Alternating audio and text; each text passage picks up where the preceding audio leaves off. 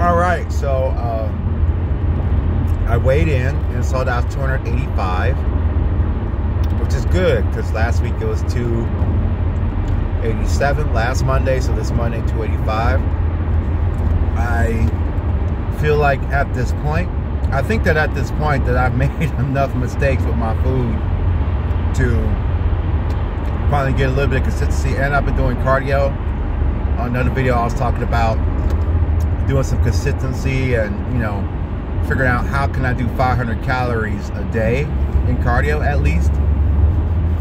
Um, which for me feels like a reach right now because when I do 30 minutes on a stair climber at the gym, I get a rough maybe 215, but that's for 30 minutes at a uh, manageable pace for me.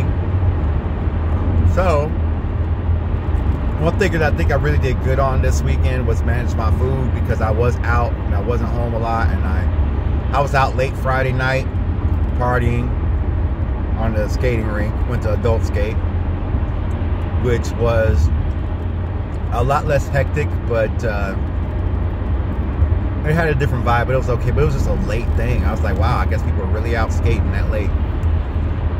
And that kind of jacked me up because in the morning I slept later than I normally do on Saturday mornings. And I had to get a lot of stuff done. But a good thing though is that Just Meats came in. Just Meats is a uh, service that services pre-cooked uh, meats for your consumption and it's portion controlled.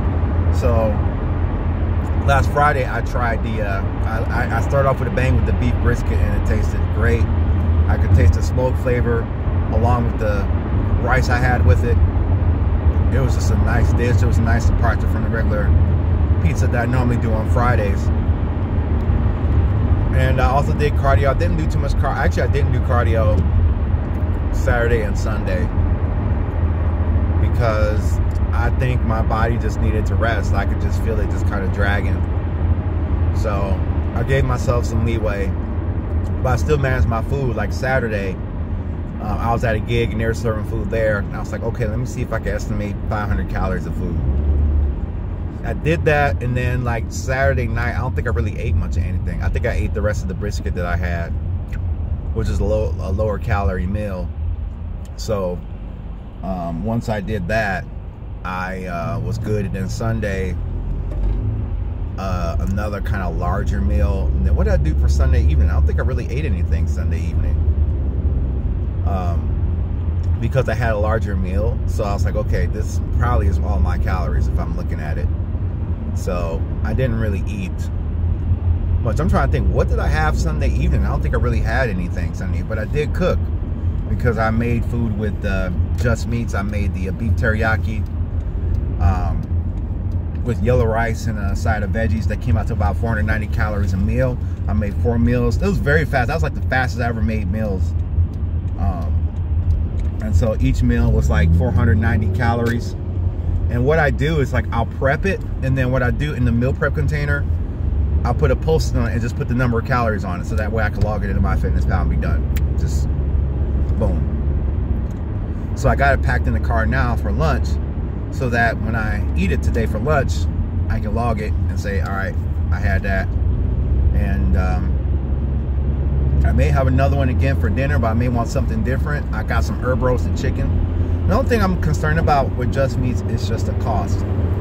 Like I'm a little concerned about the cost, but I haven't done the math yet, and it's a little tricky to do the math because the way I cook, if I'm buying chicken, um, you know, I could buy a bunch of chicken for a very low cost. But there is some prep time to it, and there's still a lot of cook time to it. And so, and my, you know, for the cost of an order of just meats, it's like my grocery budget for two weeks. Uh, because I'm so minimalistic in that, which enables me to afford to budget for other things right now. Um, I'm sure that'll be different with a family because I imagine mouths to feed is a is a different uh, thing, and so I'm trying to kind of take advantage, set myself up for our future with the budget, you know, and structure some things, you know. So I think I think it's good. Um, I'm happy that I have a lower weight because I've done a lot of vlogs like this where I've done the same weight over and over again. I've done the same staying at 289, 290, two, I was like 291. I'm I'm going up, but I do know that I was I was like kind of tracking, but I was not tracking. I was drinking a bunch of Pepsis, a bunch of iced coffees. I was meal prepping, wasn't quite working out. Iced coffees, things of that nature. Oh, speaking of working out, I did my push-up workout today, and today I'm at 40 push-ups now, straight through. The goal is to get to 100. But right now I'm breaking them up into 50 and 50. So as long as I do 50 minimum, I'm good for the morning and the evening. So in this case, I do 40. Because what I was doing, I was doing half, like I was doing like 25 or 30, and then I would try to break them up and do the rest of them. Now I can do 40 straight through. And then I try to max out on the second set, and then I'm done. And um, I think I'm working on a month of that. So I can imagine at two months, I'll have 50 down packed and maybe working in the 60 reps. But uh, when I reach 50, when I'm able to consist consistently do 50, um, maybe at morning and evening, I'll switch to regular push-ups and start building from there. And that'll take me into three and four months of this. So I think I'm at a month now of push-ups. And the growth is coming. But what I'm learning is that this sort of thing with the weight loss, it takes months, even like for the car I want to save up for. Um, I'm really trying to focus a lot of energy to that. I want to travel. I feel like I should be traveling right now. I want to travel. I want to see the world. But I'm also thinking about what can I do if I saved up a bunch of money and got a car to rent, to rent out, which is totally different from what I was raised up in because, you know, we didn't rent cars. We didn't let nobody touch our car. And if you know, my mom is on that. I ain't let nobody tear none of my stuff up. And I and I understand that. I understand that, but the problem is it's like if you're if you play your cards too close to your hand, you don't really um it's hard ooh, I'm butting this on wrong. Well, no, it's, it's fine. Um, you don't really get to try to make your money make money for you.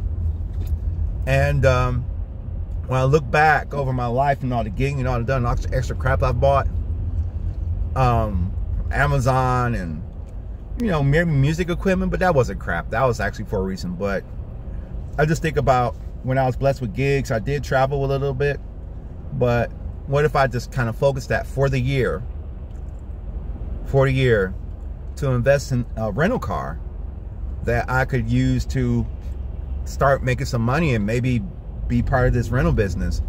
I do know that if I didn't have this job, I would have to get creative. I would have to find another job in IT, gig. I would have to DoorDash, maybe Uber or something, but there's always a lot of work to do.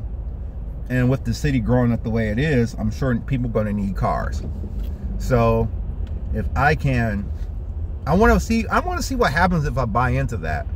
I want to see what happens if I buy a reliable car for cash and I put it on the market for rentals with these apps and see if it makes some money and then grow that, you know. So that's sort of like a 24. So that's like kind of a two-year plan. But if I can make enough money to buy a car before the end of the year, that's even better.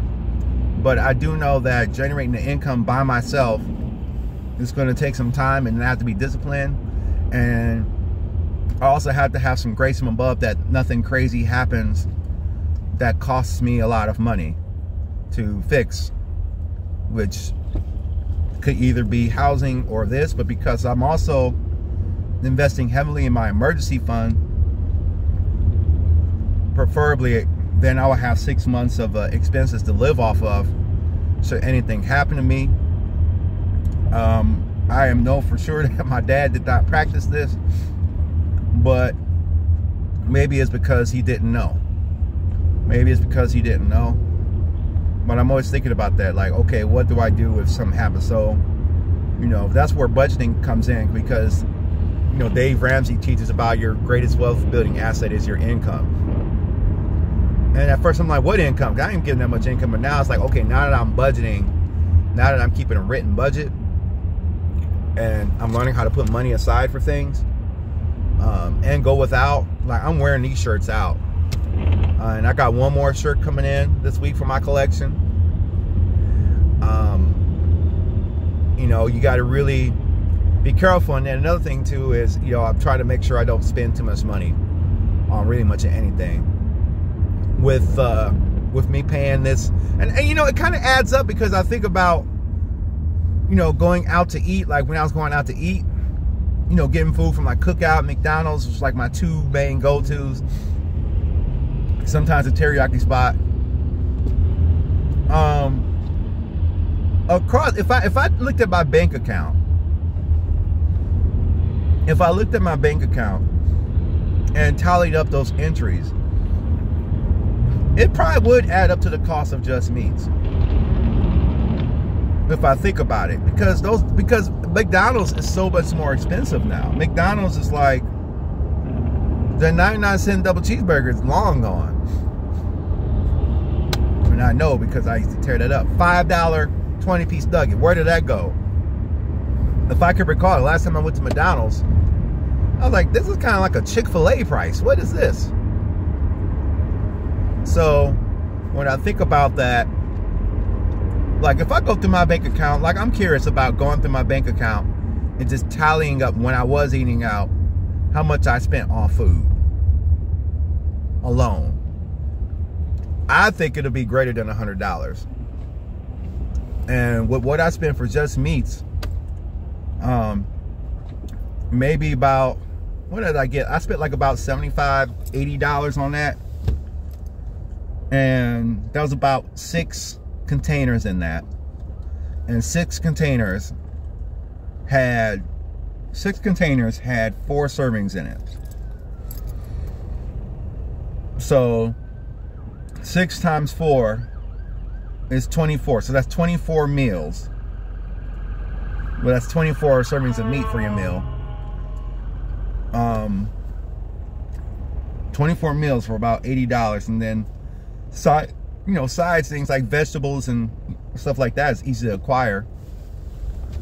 Um, I don't know. I really have to sit down and do the math. I can't do the math right now. Plus, I'm looking at traffic and all this stuff, and there's construction going on. And I could tell that the pollen is, is pollinating because of this. Man. So, with that, it's okay. So I'm really just glad that I got a good weigh in this this morning. I got my food packed. And one final thing is that you just gotta learn to be hungry. I emotionally ate at this job because there's a lot of stuff that I didn't like. There's a lot of stuff, and there's ongoing things I don't like. And so I would turn to food to kind of take my mind off of it. But processes like losing weight and saving up for a car to solely to rent out instead of buy it for my own personal enjoyment and looking good and sexy for the ladies. I guess I'm crazy. Well, I'm almost here. That's my uh, weekly update.